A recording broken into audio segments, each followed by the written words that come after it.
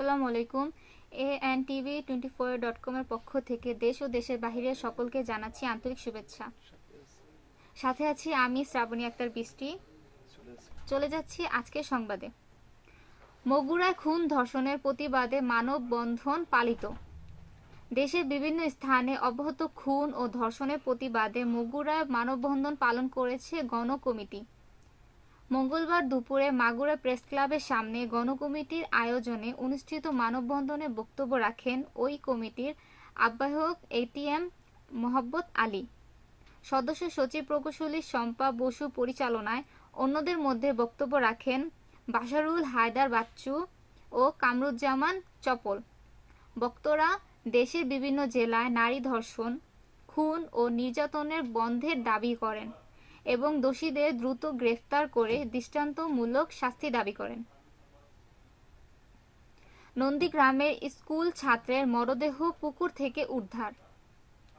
বগুড়া নন্দীগ্রাম জেলার পল্লীতে ফুটবল খেলতে গিয়ে নিখোঁজ স্কুল ছাত্রের মরদেহ পুকুর থেকে উদ্ধার করা হয়েছে। মঙ্গলবার উনত্রিশে সেপ্টেম্বর দুপুরে উপজেলায় বড়ইল ইউনিয়নের মারিয়া গ্রামে। মঙ্গলবার উনত্রিশে সেপ্টেম্বর দুপুরে উপজেলার বড়ইল ইউনিয়নের মারিয়া গ্রামের একটি পুকুর থেকে মরদেহ উদ্ধার করা হয়। নিহত পল্লব কুমার মারিয়া গ্রামের পলাশ চন্দ্রের ছেলে এবং দুন্দার স্কুল অ্যান্ড কলেজের ষষ্ঠ শ্রেণির ছাত্র। স্থানীয়রা জানায়, মঙ্গলবার সকালে পল্লব প্রতিবেশী বন্ধুদের সাথে স্কুল মাঠে ফুটবল খেলতে যায়।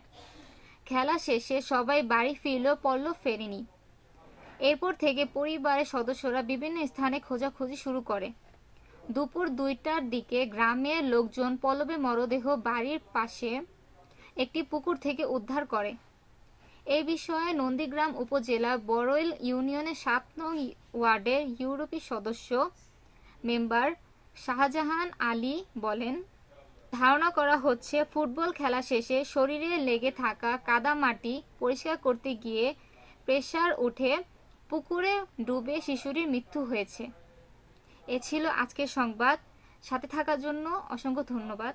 আসসালামু আলাইকুম। সুপ্রিয় দর্শক মন্ডলী দৈনিক স্বাধীন সংবাদ এবং YouTube channel N TV twenty four dot কমের সাথে এতক্ষণ থাকার জন্য আপনাদেরকে অনেক অনেক ধন্যবাদ জানাচ্ছি। আপনারা আছেন বলেই আমরা এত কিছু করার চেষ্টা করি। দৈনিক স্বাধীন সংবাদ এবং ইউটিউব চ্যানেল দেশ মাটি ও মানুষের কল্যাণে কাজ করতে আগ্রহী। আপনাদের যে কোনো সমস্যা, যে কোনো ভালো, যে কোনো মন্দ সব কিছুই আমরা তুলে ধরতে চাই আমাদের জাতীয় দৈনিক স্বাধীন সংবাদ এবং YouTube channel N TV twenty four dot কমের মাধ্যমে। তো আমাদের সাথে আপনারা থাকবেন, এই প্রত্যাশা জেনেছি আল্লাহ হাফেজ।